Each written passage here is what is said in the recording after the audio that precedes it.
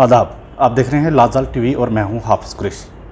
आज हमारे साथ खसूसी गुफ्तु के लिए मौजूद हैं ज़िला तरक्याती कमिश्नर राहुल यादव जी।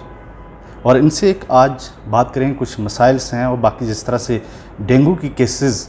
जो आ रहे हैं कठुआ में उस पर आ, क्या कहना है? कि सबसे पहले सर खुश आमदेद सर आपका लाजवाल पर सर आ, सर सबसे पहले जानना चाहूँगा अभी तक कितने केसेस आए हैं जो डेंगू के हैं और क्या मैसेज रहेगा सर आप देखिएगा हमारे डिस्ट्रिक्ट में अभी तक 81 केसेस डेंगू के आ चुके हैं और इसमें पिछले दो तीन हफ़्ते में केसेस में काफ़ी जो है वो बढ़ोतरी देखने में मिली है और उसको देखते हुए ही अवेयरनेस ड्राइव भी चलाई जा रही है और जो डिफरेंट डिफरेंट एरियाज़ हैं वहाँ पर आईसी मटेरियल इसके अलावा प्रिंट और सोशल मीडिया के माध्यम से भी लोगों को अवेयर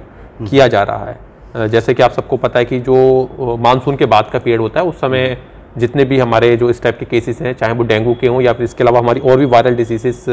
इस समय काफ़ी होती हैं। और इसके लिए जैसे कि अभी हमारा जो ये दिवाली से पहले वाला पीरियड होता है इसी वजह से एक कल्चर भी हमारा रहा है कि हम इससे पहले घरों की सफ़ाई करते हैं। वो इससे रिलेटेड भी है काफ़ी हद तक। तो अ, हमारे तरफ़ से फॉगिंग की एक्सरसाइज और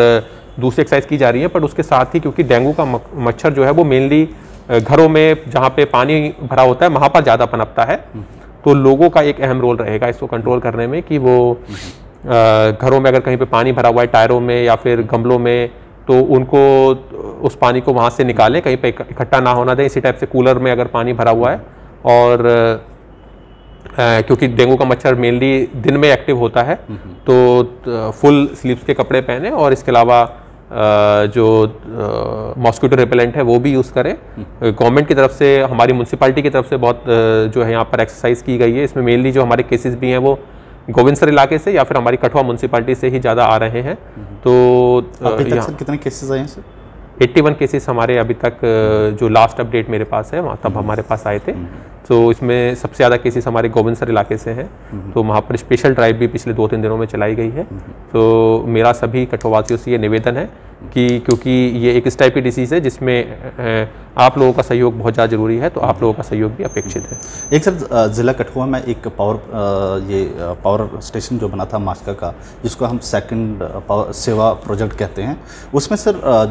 पिछले कई सालों से जिस तरह से एक एग्रीमेंट के तहत जो जन, जनरेट होनी थी वहाँ पर पावर कुछ 12 परसेंट स्टेट गवर्नमेंट को जानी थी इसके साथ जो एक परसेंट जो वहाँ पर ईयरली जो अमाउंट जितना भी इनकम थी उसकी तो वो लोकल एरिया में डेवलपमेंट में लगना था तो आज तक सर क्या